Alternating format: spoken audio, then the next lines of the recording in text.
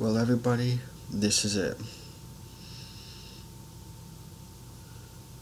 The project I've been working on for such a long time now.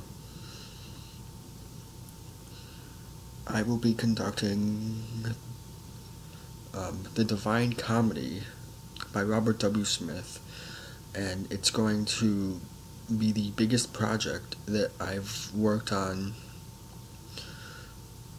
in a long time, and I'm just so excited to be bringing it out there. Um, I will be trying to hopefully work on it and put everything together, I guess. So, this is just like a little announcement video to say, hey, you know, I'm doing this this big symphonic work written by one of the most, you know, famous American composers of the modern era.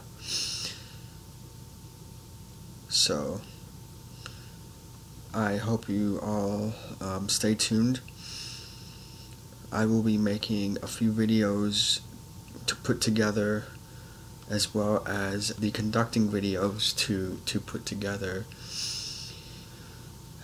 And next Friday it should premiere, so I hope you you all will stay tuned for my my um, Divine Comedy project.